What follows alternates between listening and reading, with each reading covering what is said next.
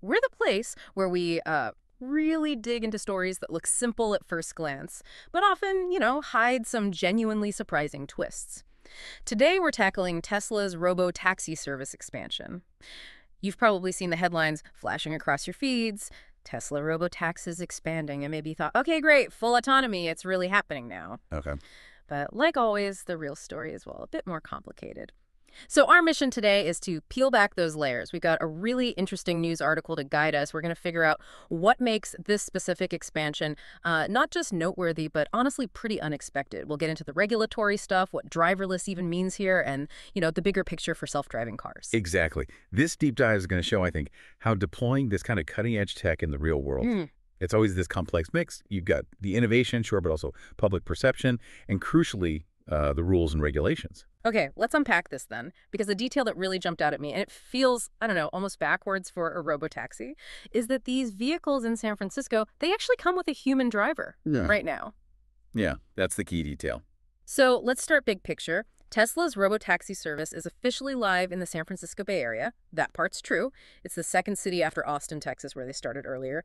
And the news definitely gives this impression, right, of uh, driverless Model Ys just cruising around everywhere. Well, the headlines certainly suggest rapid progress. And, you know, from purely a tech ambition perspective, Yeah? moving from just one pilot city to another major metro area this quickly, that's uh, that's pretty remarkable in itself. But like we said, there's this really critical difference, almost a paradox maybe, between Austin and San Francisco. Our source mentions that in Austin you'd have a safety monitor, but they're sitting in the passenger seat. Here in San Francisco, though, the robotaxis have a safety driver behind the steering wheel. So when you hear robotaxi, but then you hear human driver behind the wheel, what does that immediately signal to you? It tells us right away we're not looking at pure, unassisted autonomy. Not in the way most people probably picture a robotaxi anyway. This difference, uh, it points straight to the regulations. It seems Tesla just doesn't have the green light yet in California. Right. All the necessary approvals, you know, to run paid taxi rides without anyone driving. It's a really stark example of how the legal side can actually define how a technology gets used. Right. And it's not just a small detail they're waiting on. The article is quite clear. Tesla does hold a transportation charter permit from the California Public Utilities Commission, the CPUC. That lets them carry passengers, okay, but in a non-autonomous vehicle, meaning with a driver. But here's the kicker. They apparently have yet to apply for the permits required to test and deploy driverless taxis in the state. It's almost like they're operating under a totally different service category for now. Essentially, yes. It's a workaround, perhaps, to get boots, or rather wheels, on the ground. So moving on then, what does this service actually look like on the ground in San Francisco? Who gets to try it? Because access isn't open to everyone. It's currently on an invite-only basis. Hmm. Seems like Tesla owners, influencers, and investors are getting the first invite, so you can't just hail one on your app yet. No, not yet. Standard procedure, really. And the area they're operating in is also pretty limited, not like the uh, joke Elon Musk made about Austin's phallic-shaped geofenced area. Hmm. Here, it's described as more constrained in a more nondescript area. But it does cover several key cities, San Francisco itself, Berkeley, Hayward, Fremont, and San Jose. And that invite-only geofence strategy, that's very typical, almost textbook for rolling out new tech like this, especially autonomous vehicles. You start limited, keep it within the fine zones. It lets companies grab that crucial real-world data, refine the system in a controlled way, and kind of navigate those early regulatory complexities. It's actually a pretty measured approach, even if the robotaxi name suggests something much bigger already. Yeah, that makes sense.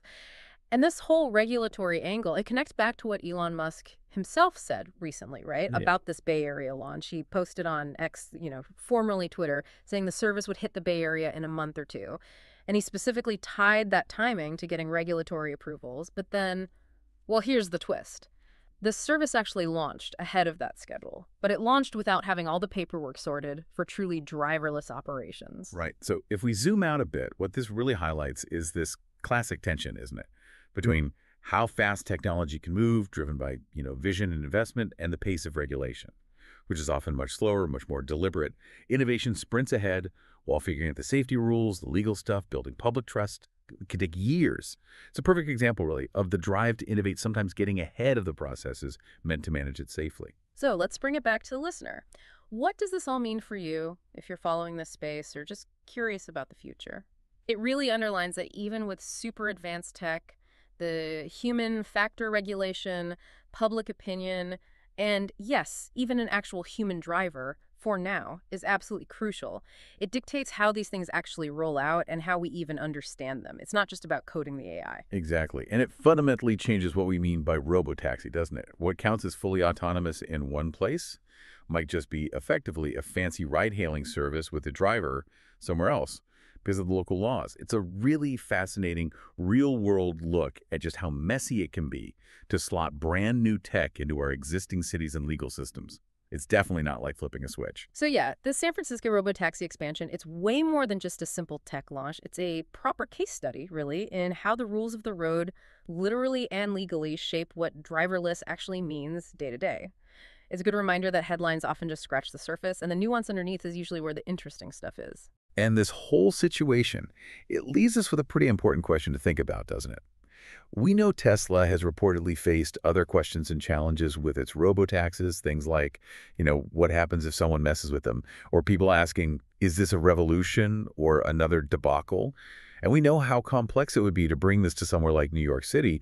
So how is this ongoing dance, this back and forth between rapid innovation and slower regulation going to keep shaping the future for all autonomous vehicles?